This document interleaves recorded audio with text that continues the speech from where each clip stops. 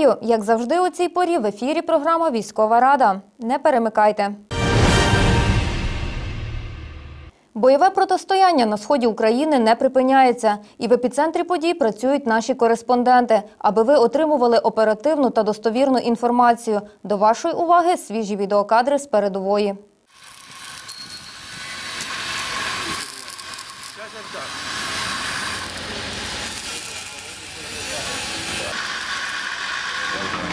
Занимаемся в качестве волонтерской деятельности вот такими вещами. А Установка вот, э, противоаккумулятивных экранов для БТРов.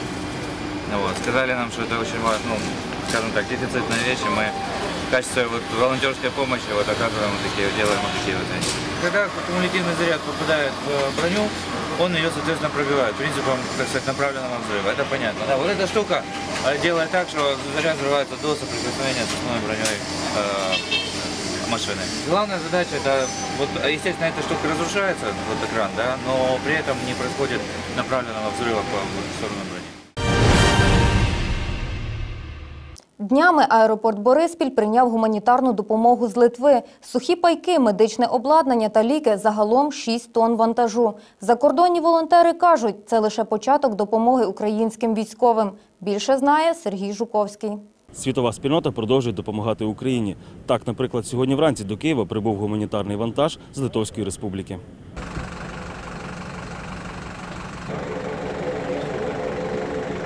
Еластичні бинти, стерилізована вата, силіконові пластирі для оброблення ран. Все це та багато іншого вже ввечері доправлять у зону АТО. В основному на борту літака медикаменти та сухпайки. Таку підтримку Міноборони Литви за потреби надаватиме й надалі. Позиция Литвы очень ясна и четка к этому вопросу.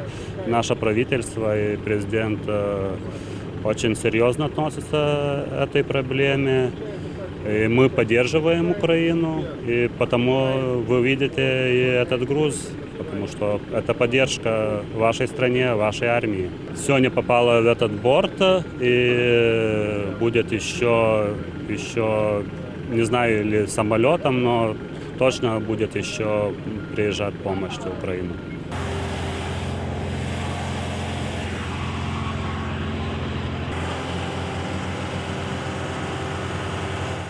Крім гуманітарного вантажу від Міноборони Литви, в Україну також прибув вантаж і від народу литовського. Джон Охман, волонтер із Литви. Розуміючи скрутну ситуацію в Україні, чоловік розпочав пошук охочих допомагати братньому народу. Сьогодні разом із військовими Джон привіз для українських захисників зручне взуття та обмундирування. Каже, організувати збір коштів та відрядження було легко, адже кожен литовський громадянин розуміє становище України та всіляко бажає долучитись до її перемоги. Очень просто помогать Украине, пом- помогать украинской армии сколько можно, сколько только можно. Э, Это, это ну, войну выиграть. Так что по-другому не могу сказать. Конечно, мы знаем более-менее, что надо. Мы сейчас, э, у нас есть сеть в Литве, э, в разных городах, где люди уже работают. Меня вместе со мной- сейчас примерно 300 людей, которые очень интенсивно занимаются. Но мы собираем вещи, мы там, мы там делаем это как рекламу, мы э, собираем деньги. Вже ввечері Джон вирушить додому Україну, де панує мир та злагода. Проте каже, і надалі продовжуватиме волонтерську діяльність, щоб допомогти українцям. В Україні таки готуватимуть юних моряків. В Одесі відновив свою роботу військово-морський ліцей, передислокований з окупованого Криму. Розмістили навчальний заклад в корпусах одного з колишніх факультетів Інституту сухопутних військ. В Україні таки готуватимуть юних моряків. В Одесі запрацював військово-морський ліцей, передислокований з окупованого Криму. Навчальний заклад розмістили в корпусах одного з колишніх факультетів Інституту сухопутних військ, тих самих, де свого часу квартирував Одеський військовий ліцей. дякуючи е, меру е, міста Героя Одеси, дякуючи спільним зусиллям будівельникам, наполегливості, витримки, е, командуванню військово-морського ліцею, нашим ліцеїстам нам вдалося все зробити для того, щоб цей е, навчальний заклад існував, достойно готував е, майбутнє військово-морських сил України. Символічно, що саме у вересні цього року військово-морський ліцей відзначає свій перший ювілей – п'яту річницю від дня заснування. Заклад випустив у доросле життя півтори сотні юних патріотів. Переважна їх більшість обрали професію військового. Ми в цьому році випустили 13 чоловік, І фактично з 13 чоловік 12 хлопчиків поступили в цьому році в військово-морську академію. У той час, коли 15-річний В'ячеслав тільки но робить перші кроки у військовій кар'єрі, його батько, командир рейдового тральщика Генічіс, виконує бойове завдання в морі. Я мріяв з 8 класу, так це підтвердило, ну, вплинула також ця ситуація з Криму. Після військово-морського ліцею планую поступати у військову академію. Ну, мабуть, буду штурманом. Всього до навчання в ліцеї цьогоріч приступили 60 першокурсників. Це учні 10 класів та 20 ліцеїстів другого курсу. Командувач військово-морських сил України, віце-адмірал Сергій Гайдук, подякував юнакам за життєвий вибір, побажав їм мужності, витримки та успіхів у навчанні. Він довгих 9 років іржавів на складі 25-ї повітряної бригади, а небайдужі українці всього за 4 місяці підняли цей літак в небо. Ан-26 відродився до життя і отримав ім'я «Фенікс». Як готують до виконання бойових завдань оновлений військовий борт, бачили наші кореспонденти. Волонтери з групи Крила Фенікса завершили відновлення Ан-26 для потреб української армії. Завдяки спільним зусиллям військових, небайдужих громадян і представників авіаційних ремонтних підприємств, машину, яка з 2005 року перебувала на зберіганні, вдалося підняти в небо. Було велике бажання е, на відновлення, тому що у нас такі літаки в пасажирському складі. А дуже велика була мрія е, політати на е, грузовому варіанті.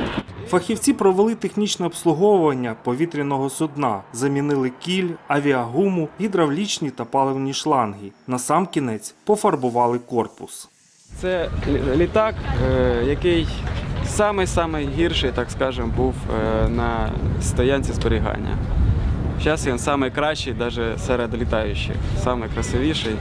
І в такому фарбуванні ми можемо навіть на авіашоу е, ну, сміло лі- летіти і нам не буде соромно.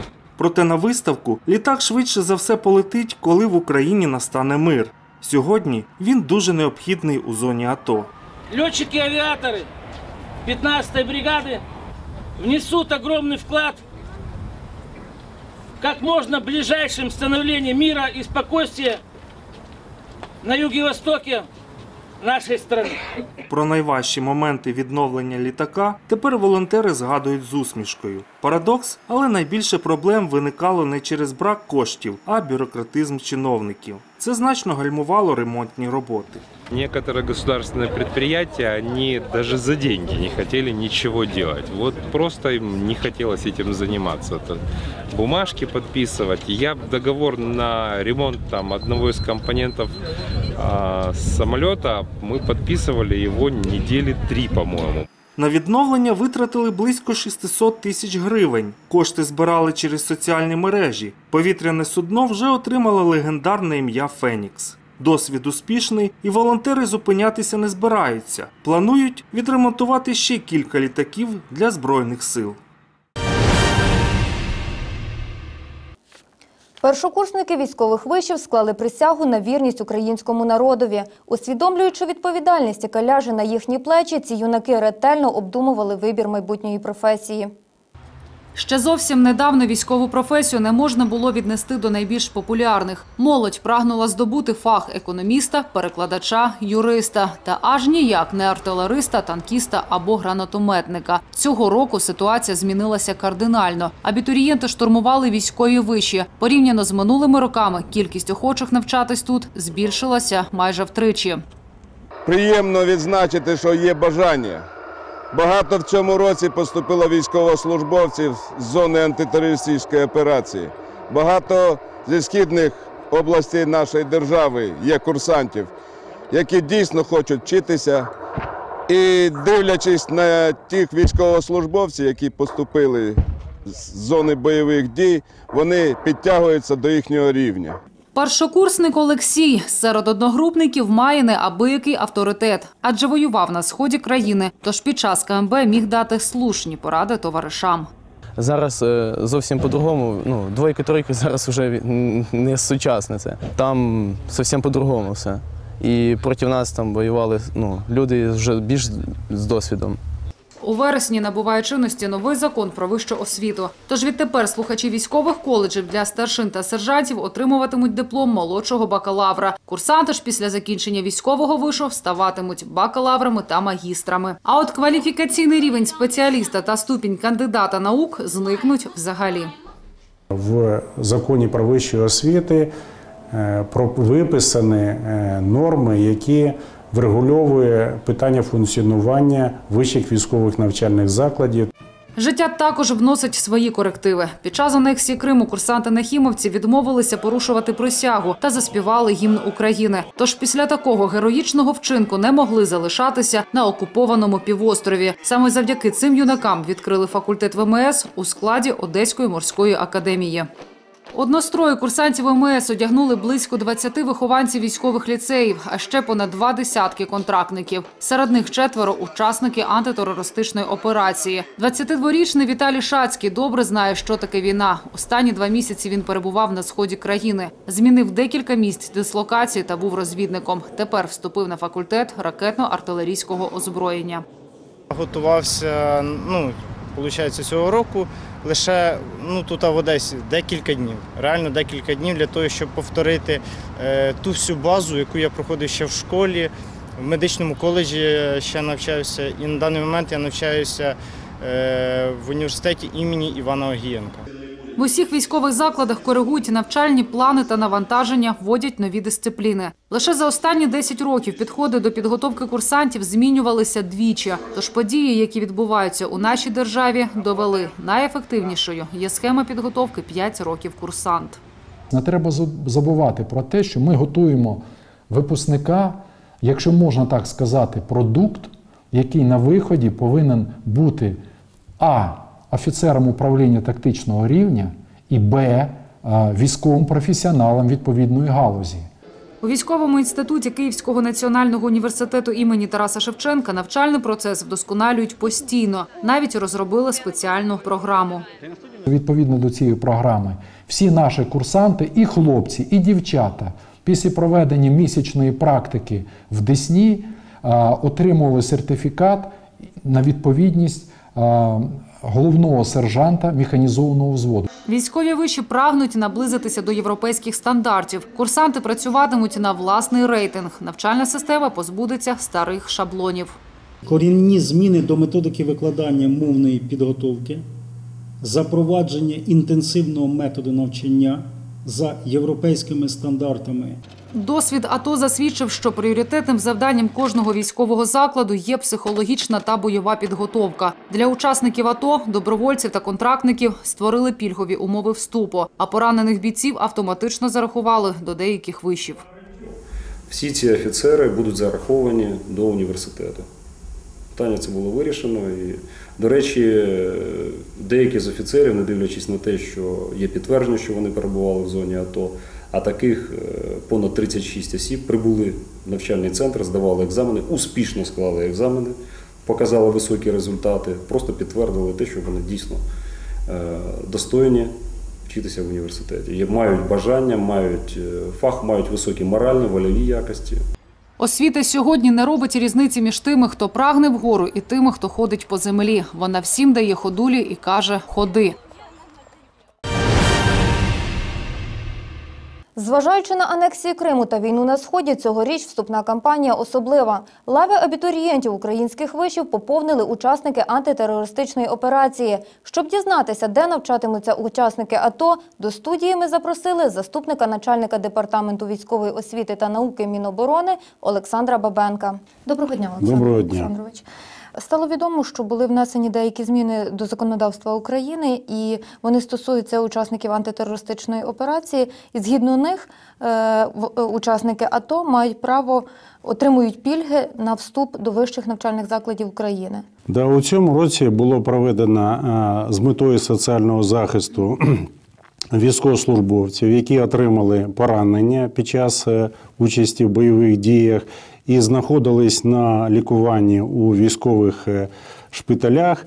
От у цьому році е, цієї категорії осіб було надано право вступу до вищих військових навчальних закладів та військових навчальних підрозділів вищих навчальних закладів е, на заочну форму на- навчання за цивільними напрямами е, підготовки. У цьому році, от протягом 18-23 серпня, виїзними е, комісіями, приймальних комісій, ну, практично всіх вузів військових е, було проведена виїзна сесія. І було до вищих військових навчальних закладів зараховано близько ну, більш ніж 60 е, поранених е, військовослужбовців, які на цей час знаходяться на лікуванні у військових шпиталях.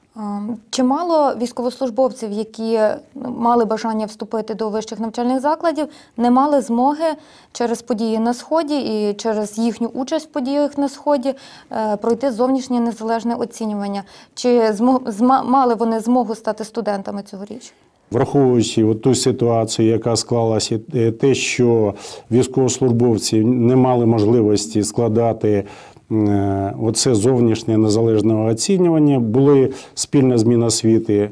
е, Міноборони опрацювала питання і було внесено зміни в умови прийому, які надала право військовослужбовцям вступати на навчання до військових навчальних закладів тільки для військових навчальних закладів за результатами вступних випробувань, а не за сертифікатами зовнішнього незалежного оцінювання. До військових навчальних закладів вступали на навчання учасники бойових дій е, не тільки ті, хто е, поранені і проходять на цей час лікування у е, військових шпиталях, ну і учасники бойових дій вступали це і до Національного університету оборони України. І у цьому році теж е, така особливість е, була е, цієї категорії військовослужбовців було надано право вступу на навчання до Національного університету оборони України без складання вступних випробувань. У нас є відповідні нормативно-правові акти, які зареєстровані в юстиції України, які надають в такий час право проводити вступні, е, е, зараховувати до Національного університету оборони України без проведення вступних випробувань цієї категорії осіб. У зв'язку з останніми подіями на сході та виникненням, як вже для нас стало всім відомо, нового типу війни, такого як гібридної, скажіть, будь ласка, чи були внесені зміни до навчальних програм курсантів? І якщо були внесені, то чого тепер навчатимуть курсантів? До е, навчальних планів і програм вже саме е, на цей час зараз внесені відповідні зміни, які дозволили і дозволяють. Е, При підготовці і слухачів в Національному університеті оборони України і курсантів в інших військових навчальних закладах врахувати той досвід, який е, отримали, е, на жаль, іноді і як говорю, кровавий досвід отримали. І зараз до програм підготовки внесені відповідні зміни, які враховують от особливості саме на е, дій е, підрозділів от в цих умовах гібридної війни, які враховують особливості от організації взаємодії між е, підрозділами різних військових формувань. Велика е, зараз е, увага приділяється і питанням е, психологічної підготовки, як самих е, офіцерів майбутніх. Е, Так і е, питанням організації виховної психологічної роботи у підрозділах. Внесені відповідні зміни до програм підготовки, які враховують і особливості інформаційної боротьби, які зараз активно ведеться з боку і сепаратистів, е, інших підрозділів. Також звертається увага і на правові засади застосування військовослужбовцями і зброї. Е, Дякую, що знайшли час завітати до нас до студії. Будь ласка. За час неоголошеної війни на Донбасі терористи розгромили сотні сіл і містечок. Місцеві мешканці залишилися без елементарних засобів до існування. На порятунок постраждалим прийшли українські військовики. Яку допомогу надають армійці? Далі в сюжеті. І хоча на сході країни досі тривають бойові дії, у звільнених містах та селах поступово відновлюється мирне життя. Напередодні навчального року до 14 шкіл та дитсадків Мар'їнського району Донецької області українські військові завезли необхідні продукти харчування. У вантажівці крупи, цукор, борошна, ковбаса та хліб. Бійці розставляють вартових та розвантажують фуру. Пригощають місцеву малечу солодощами та фруктами. Доправити вантаж – завдання не з легких. Цей район звільнений від терористів, проте за 30-40 кілометрів звідси точаться бої. Однак такий рейс не перший. Нашою роботою охоплені понад 15 сільських рад, і ми вже працювали в одних. Завтра очікується прибуття ще 20 тонн, які будуть розподілені в інших районах. Е, Через тісну співпрацю з органами місцевої влади е, все це здійснюється прозоро і, як то кажуть, е, без всім, всім по потребам. Неочікуваній допомозі зрадів директор школи в Новоукраїнці. Учням привезених харчів вистачить на місяць, каже Олексій Олександрович. Ну це чудово, коли в такий складний період ми маємо можливість організовано розпочати навчальний період в школі. Це допоможе нам організувати харчування. А відповідно, як говорять, е, шлях до серця солдата лежить через його шлунок. Так що це сказується на засвоєнні учнями знань. Я думаю, процес піде гарно, чудово. Загалом військові доправили більше 50 тонн гуманітарного вантажу для місцевих мешканців Сходу. Почуття обов'язку та поклик серця змусили його залишити сім'ю, улюблену справу та стати на захист батьківщини. Про те, як вчорашній бізнесмен пліч-опліч з військовими професіоналами виконує бойові завдання в наступному сюжеті. Народ України і надалі продовжує допомагати своїй армії. Волонтери чи не щодня відправляють на схід сотні кілограмів гуманітарного вантажу. А от Дмитру Муравському цього було замало. Чоловік залишив бізнес у Києві та приїхав у зону АТО. Для меня э, это вторая война, на которой я принимаю участие. Первый это был э, интернациональный долг в Афганистане э, в 1988 году. То, что происходит, касается каждого в нашей стране, на мой взгляд. И находиться, наверное, может быть, просто наблюдателем не позволяет какое-то мое внутреннее, может быть, убеждение. Нині заможний бізнесмен зі столиці проходить службу у групі цивільно-військового співробітництва. Живе у польовому таборі, проте на умови не скаржиться. Розуміє, настав час захищати батьківщину. Посещая там день через день буквально там передовую, глядя на то, в каких условиях живут ребята, я понимаю, что тут у нас Хилтон. Нету горячей воды, ну да, неудобно там. Живем 20 человек в палатке, там, питаемся как-то там полевой кухней. Но это все мелочи на самом деле по сравнению с тем, что происходит ежедневно на передовой. И описать это словами невозможно, это нужно увидеть. Вже більше місяця чоловік допомагає воякам налагоджувати діалог із мирним населенням, забезпечує захист підрозділу та не полишає волонтерської діяльності. За час перебування в зоні АТО Дмитро побачив чимало, проте найбільше його вразили очі дітей, які пережили війну. Я готовлю материал, который хронику, которая позволит, возможно, нашим людям в тылу, а В большей степени, наверное, подрастающему поколению, увидеть, что происходит на самом деле. Э, Без каких-то купюр, без каких-то прикрытий. Я боюсь, что на сегодняшний момент я не готов выкладывать, показывать это в полном объеме, потому что у многих это может вызвать легкий шок или панику. Я хотел бы, чтобы лица этих людей, наверное, сохранились для истории, потому что они действительно того достойны. Неоголошена війна в нашій країні вже завтра може торкнутись кожної української родини. Тож, щоб врятувати власний дім, потрібно зробити свій внесок у перемогу.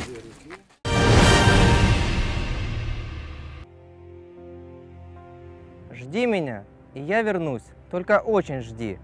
Жди, когда наводят грусть желтые дожди. Жди, когда снега метут. Жди, когда жара. Жди, когда других не ждут, позабыв вчера. Жди, когда из дальних мест писем не придет. Жди, когда уж надоест всем, кто вместе ждет. Жди меня, и я вернусь. Не жалей добра. Все, кто помнят наизусть, что забыть нельзя. Пусть поверят сын и мать в то, что нет меня. Пусть друзья устанут ждать, сядут у огня.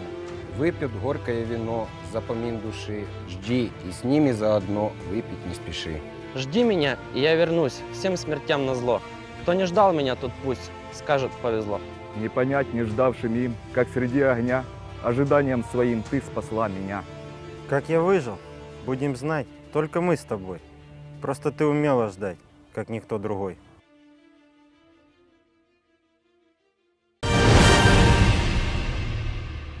А на сьогодні це всі новини. Дякую, що були з нами. Бережіть себе.